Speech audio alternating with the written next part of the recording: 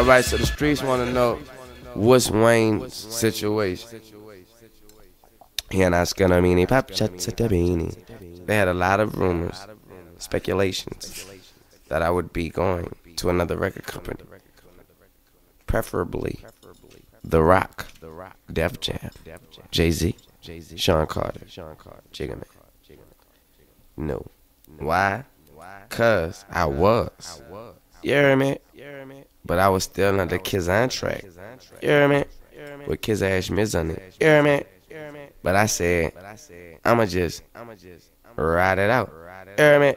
And see what and see what I can do. You hear me? And so then I figured, no, I'm gonna go with the Roc. I'm gonna go by Jay. And Jay was trying to help me. He was really trying. He's like, dude, whenever you get out your situation, I'm here. I'm here. Whatever you need, I'm here. It's like, believe that. Then all of a sudden I get a call from Universal.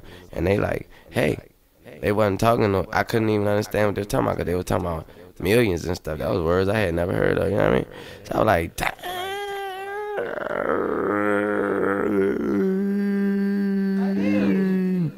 and I was like, believe that. And so, yeah, man. In reality of it all, I got, I got, some more time over here. I ain't finished doing what I was doing. So, what Weezy's doing, finishing up.